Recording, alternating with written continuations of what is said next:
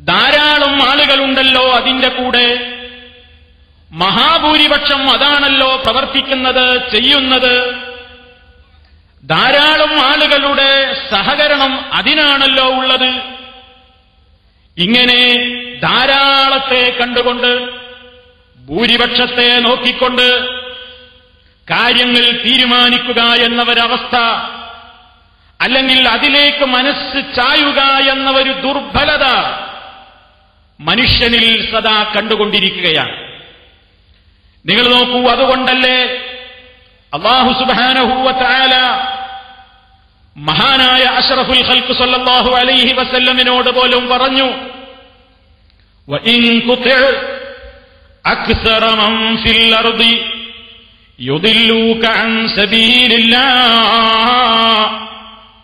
ഓ നബിയെ താങ്കൾ അനുസരിക്കുകയാണെങ്കിൽ താങ്കൾ വഴിപ്പെടുകയാണെങ്കിൽ അക്സറ മംഫിൽ അർദി ഭൂമിയിലെ മഹാഭൂരിപക്ഷത്തെ നിങ്ങൾ അനുസരിക്കുകയാണെങ്കിൽ യുതില്ലൂക്ക അൻസതിയിലില്ല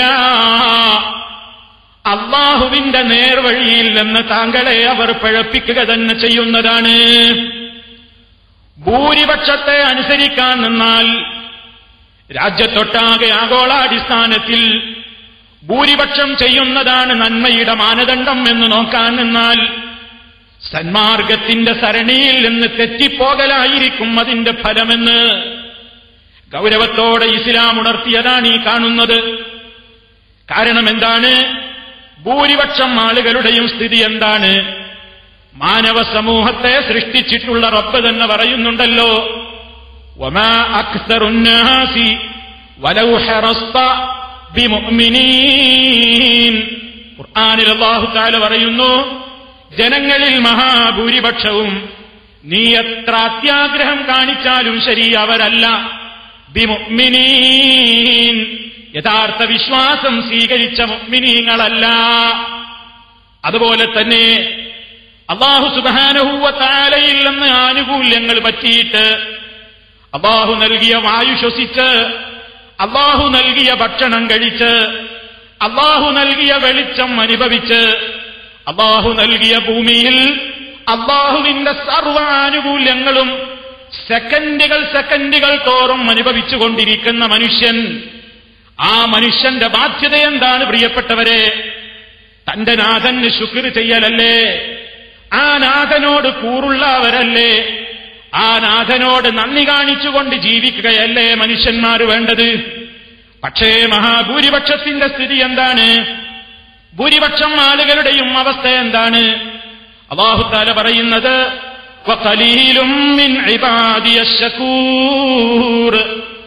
എന്റെ അടിമകളിൽ നന്ദി കാണിക്കുന്നവർ വളരെ വിരളമാണ്. അള്ളാഹുവിന്റെ അടിമകളിൽ മനുഷ്യന്മാരെ മൊത്തത്തിലെടുത്ത് പരിശോധിച്ചു നോക്കിയാൽ ഏത് കാലഘട്ടത്തിലും സൃഷ്ടാവായ അള്ളാഹു സൃഷ്ടികൾക്ക് നൽകിയ ആനുകൂല്യങ്ങൾ പറ്റുന്നു എന്നതല്ലാതെ ആ ആനുകൂല്യങ്ങൾ നൽകിയ റബ്ബിനോട് കൂറ് കാണിച്ചുകൊണ്ട് ശുക്ർ കാണിച്ചുകൊണ്ട് ജീവിക്കുന്നവർ നന്നേ കുറവാണ്. അവരെണ്ണത്തിൽ വളരെ കുറവാണെന്ന് അള്ളാഹു സുബാനഹൂവ താല നമ്മെ അറിയിച്ചിരിക്കുന്നു.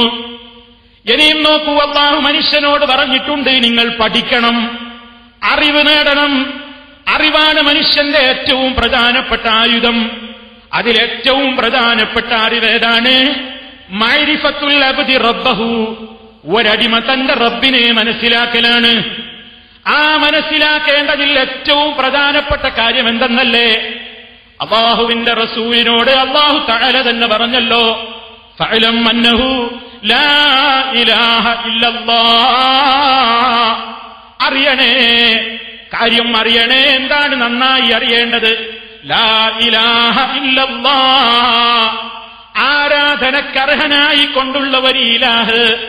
അള്ളാഹുവല്ലാതെ ഒരു ഇലാഹും. അള്ളാഹുവല്ലാതെ ഒരു ശക്തിയും. ഇലാഹാകാൻ കൊള്ളുന്നതല്ല എന്ന ആദർശം. എന്നാൽ മനുഷ്യനാവശ്യമായ ഇൽമുകൾ പഠിക്കുന്നതിൽ ആവശ്യമായ കാര്യങ്ങളെക്കുറിച്ച് ബോധവാന്മാരാകുന്നതിൽ അള്ളാഹു നൽകിയ ബുദ്ധി കൊണ്ട് അള്ള നൽകിയ കണ്ണുകൊണ്ട് വായിച്ചിട്ടും അള്ള നൽകിയ കാതുകൾ കൊണ്ട് ശ്രവിച്ചിട്ടും അള്ളാഹു നൽകിയ ബുദ്ധിശക്തി കൊണ്ട് ചിന്തിച്ചിട്ടും തനിക്ക് അനിവാര്യമായ ഇൽമുകൾ നേടിയെടുക്കുന്ന കാര്യത്തിലും മനുഷ്യന്മാര് ഭൂരിപക്ഷവും അതിന് തയ്യാറല്ല. അതും വിശുദ്ധ ഖുർആൻ പറയുന്നു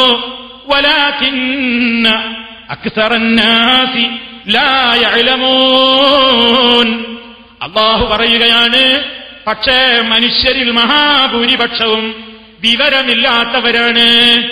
കാര്യങ്ങൾ ഗ്രഹിക്കാത്തവരാണ്. കാര്യങ്ങൾ മനസ്സിലാക്കാത്തവരാണ്. അപ്പൊ നിങ്ങൾ നോക്കൂ അള്ളാഹു സുബാനഹൂവത്താല പറയുന്നത് എന്താണ് ലോകത്തെപ്പോഴും മെജോറിറ്റി എന്തിനായിരിക്കും? ലോകത്തെപ്പോഴും ഭൂരിപക്ഷം തിന്മയുടെ പിന്നാലെ ആയിരിക്കും അതുകൊണ്ട് അവരുടെ പിന്നാലെ കൂടി പിഴച്ചു പോകാൻ പോകണ്ട. അതുപോലെ തന്നെ ഇൽമു കുറഞ്ഞവർ വളരെ വിരളമാ ഇൽമുള്ളവർ വളരെ വിരളമാണ്. ഇൽമു പഠിക്കാൻ തയ്യാറാകുന്നവരും വളരെ വിരളമാണ്. ആവശ്യമില്ലാത്ത കാര്യങ്ങൾ അറിയാനും ചിന്തിക്കാനും ഒക്കെയാണ് കൂടുതലും ആളുകൾക്ക് താല്പര്യമെന്നും ആവശ്യമുള്ളത് അറിയാനും പഠിക്കാനും ജനങ്ങൾക്ക് കൂടുതലും താല്പര്യമില്ല എന്നും അള്ളാഹു പറയുന്നു. അതുപോലെ തന്നെ തൃഷ്ടാവിൽ നിന്ന് അനുഭവിച്ചുകൊണ്ടിരിക്കുന്ന ഞാമത്തുകൾ സ്വഭാവിക്കും ഞാമത്തിൻ നിങ്ങൾക്ക് എന്ത് ഞാമത്ത് കിട്ടുന്നുണ്ടോ? എല്ലാം അള്ളാഹുവിങ്കൽ നിന്നാണെന്നല്ല പറയുമ്പോ ആ ഞാമത്ത് ആസ്വദിച്ചും അനുഭവിച്ചും കൊണ്ടിരിക്കുന്ന മനുഷ്യന്മാര് കൂറുപുലർത്തുന്ന കാര്യത്തിലും പിശുക്കന്മാരാണ്. അതുകൊണ്ട് അള്ളഹാനോട് നന്ദി കാണിക്കേണ്ട രൂപത്തിൽ നന്ദി കാണിക്കുന്ന ശാക്കിരീങ്ങളും ലോകത്ത് കുറവാണ്. അതുകൊണ്ട് തന്നെ വിശുദ്ധ ഖുർആൻ മറ്റൊരു കാര്യവും കൂടി പറയുന്നുണ്ട്.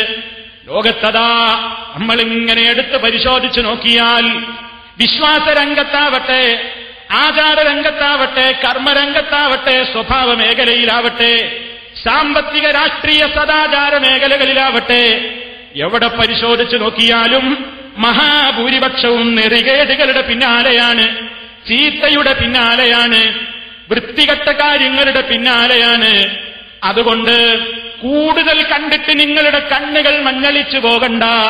നിങ്ങൾ അന്താളിച്ച് അന്തം വിട്ട് നിൽക്കണ്ട. അതാ ഹബീബായ നബി സല്ലല്ലാഹു അലൈഹി വസല്ലമിനോട് അള്ളാഹു താല പറയുന്ന വാചകം. അയത്തതാ സൂറത്തുൽ മായിതയിലെ നൂറാമത്തെ വചനത്തിൽ നിങ്ങൾ പഠിച്ചോളൂ. ഓ നബിയെ പറയൂ. പഠിപ്പിച്ചു കൊടുക്കൂ നബിയെ. എന്താണ് റസൂലുള്ളാനോട് ലോകത്തിന് കൈമാറാൻ പറയുന്ന സന്ദേശം? ലായസ്തവി സമമാവുകയില്ല കേട്ടോ അൽ ഹബീസു നല്ലതും ചീത്തയും ഒന്നും സമമാവുകയില്ല. വലവു അഴ്ജബക്ക നിന്റെ ആശ്ചര്യപ്പെടുത്തിയാലും ശരി. നിന്നെ അത്ഭുതപ്പെടുത്തിയാലും ശരി. എന്ത്? കെത്രത്തുൽ ഹബീസ് ചീത്തയുടെ ആധിക്യം നിന്നെ ആശ്ചര്യപ്പെടുത്തിയാലും ശരി. എവിടെ നോക്കിയാലും ചീത്തയുടെ ആധിക്യമാണ്. വിശ്വാസരംഗത്തിലായിലാഹ ഇല്ലയെ എതിർക്കുന്ന കക്ഷികളാണ്. ഷിർക്കിന്റെ പ്രചാരകരാണ്.